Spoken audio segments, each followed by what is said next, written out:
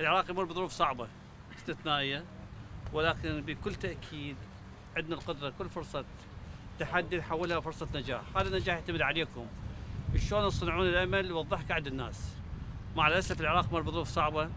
كانت عندنا وجهات نظر وعندنا اجتهادات.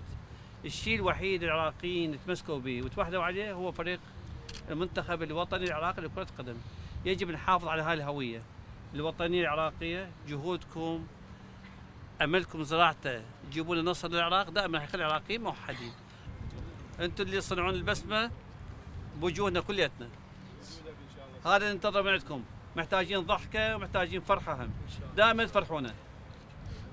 لا تنسون وايد بطولات أخذتوها. هذا ما نحتاج بعد كل يوم. شلون نحول التحدي إلى فرصة نجاح. يعتمد عليكم شباب.